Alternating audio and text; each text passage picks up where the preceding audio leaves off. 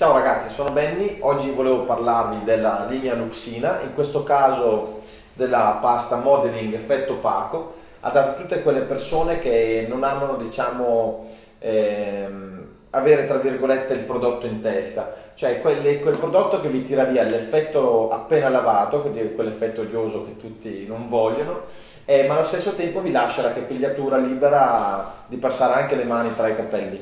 Vi spiego un attimino come va utilizzata.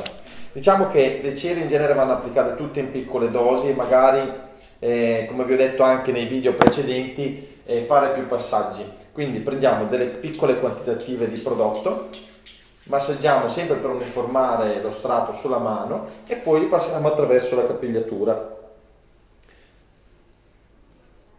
Date proprio bene a moda la radice anche riprendete un pochino di prodotto e lo ridate. Questa pasta è molto molto valida anche perché la profumazione ha un effetto molto delicato, legnoso e, e piacevole anche. E, cosa vi devo dire ragazzi? Stato un piacere, ci vediamo al prossimo video.